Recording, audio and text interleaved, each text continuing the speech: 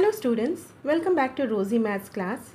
In today's video, we are going to discuss example number 13, Factorize, chapter 2, Polynomials.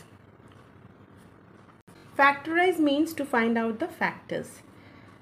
49a squared plus 17ab plus 25b squared.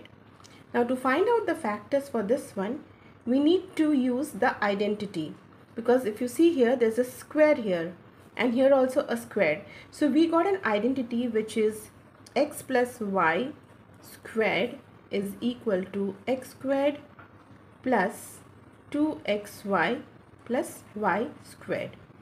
So now we need to rewrite this in this form so that this would be the factor. 49 is 7 into 7 is 49. That means 7 squared is 49. So 49a squared we can write as 7a squared plus let's see 25b squared. 25 is 5 into 5 25 that means 5 squared is 25 we can write this as 5b squared. These two are done. Now 2xy x is 7a, y is 5b and 2. If you multiply this, 2 into 7 is 14, 14 into 5. 5 4 is 20, 0 to 70. We are getting 70. So this term, the middle term, we are going to write as 2 into 7a into 5b plus. So all we are doing is we are just comparing this. X is 7a. Y is 5b. So now we can write this in this form. x plus y squared. We will write the question first.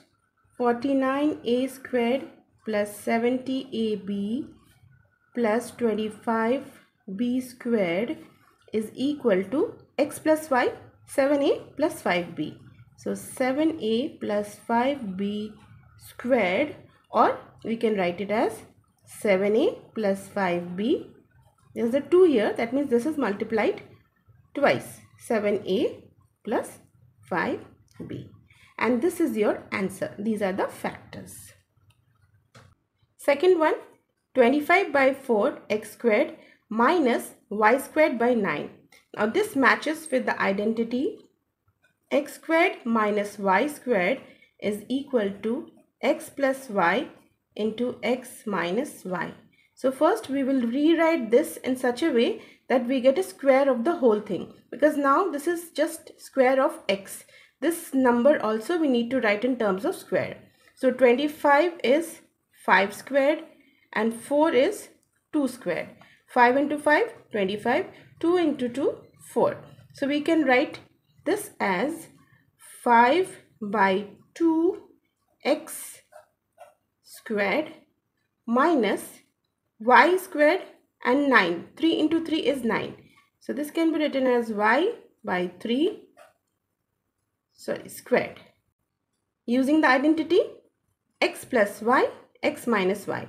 So this whole thing is x this whole thing is y if you're comparing this.